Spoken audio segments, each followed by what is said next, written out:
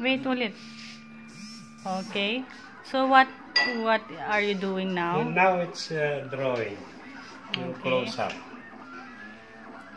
Anong design? What design? I don't know what design that one. Maybe after.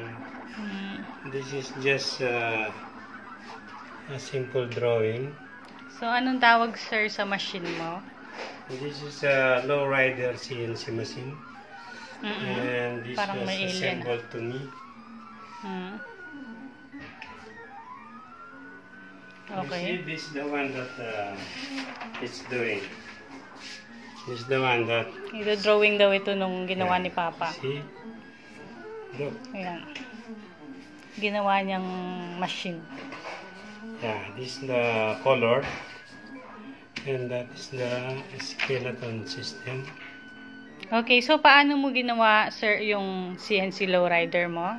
I just copy on the YouTube and then I uh, printed these uh, green parts uh, with the PLA filament uh, using 3D printer and there are three uh, with settings of uh, 0.4 millimeter nozzle and uh, 0.02 mm layer thickness Mm-mm. with an infill of uh, 65 uh, percent. And uh, it's done. And Okay. this this uh, conduit pipes Mm-mm. I bought them from scrapyard. And then uh, this one I took it also from scrapyard. These are temporary wiring. Okay and then this is the uh, monitor control board LCD I have the Z-axis motor too.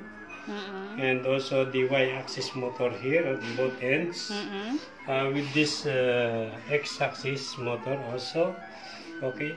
Now this uh, photo Mm-mm. I generated the G code using uh, ESLCAM but look it exits there no?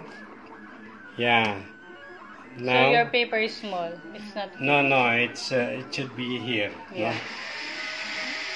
okay. See, see that one? It's there.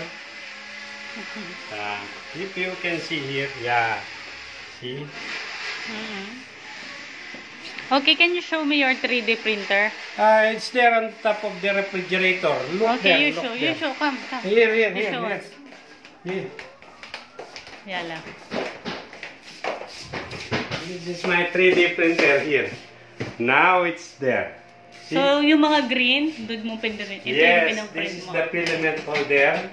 Currently, it's loaded with the red filament, no? Okay. Yeah, because I printed this uh, So, how much is the total cost of that one? This one total cost maybe around uh, 300 dinars. 300 dinars. Yeah, here I am going to put laser module. Mm-hmm. I can put I can put vinyl cutter. Mm-hmm. I can put router for uh, cutting wood, and I can put uh, so many. No, this is just a temporary Okay. pen holder. Okay, can you show us the G code? G code is there on the Okay, computer. you show. Ah, you want to You see? show now.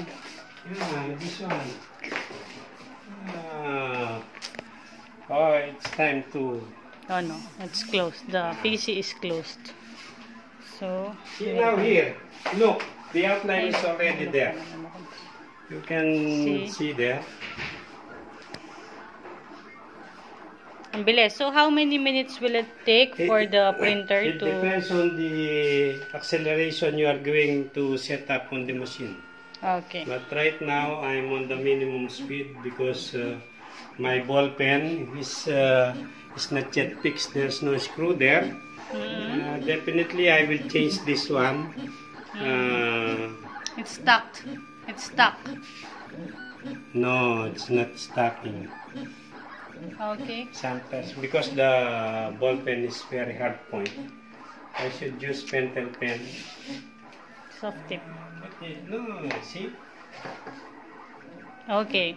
At So now, there's a pressure there. so now you say goodbye. We will show you the final Finished drawing later. Okay. yes. So It's what do we have to call you? Please subscribe to the channel. Uh, architectbob.com. How many months did you build that CNC lowrider? oh, because the spare parts, uh, especially these bolts, motor, I waited for uh, two weeks. Then this one, I got it from my Maslow CNC. Okay. This is my Maslow. Where I have got this wood, no? There is the scrap there, no? Where You is the scrap? there. You show me the scrap. There, no? Scrap there. Like, Here. So you cut this from that machine. Yes.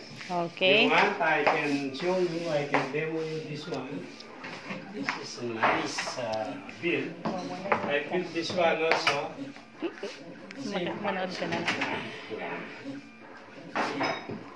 Hmm. You see? Okay. This is uh, KPD, KNP, uh, Wesecker. Iglesia ni Cristo. Okay. Okay, Yala. Now your photographer will eat. You say goodbye. say goodbye and say, look, uh, now it's uh, giving uh, detail on this. Uh, Mm. uh, but sometimes uh, the ball pen is stuck around because it is not yet permanent. Dapat yung ano film. Ay parang ano No, feather. I will. Feather uh, tip. Yeah, Okay. I will make some modification because uh, this one I printed it very rash. That's why when I modeled it there, Okay. Kalas? kalasin kalasin. So this machine is Mumtaz. You know the meaning of Mumtaz? Mumtaz is excellent in Arabic. Mumtaz Jayid. Mumtaz. Super. Okay. Kalas. We will see you later. We will show you the finished product when it's done. Okay, bye-bye.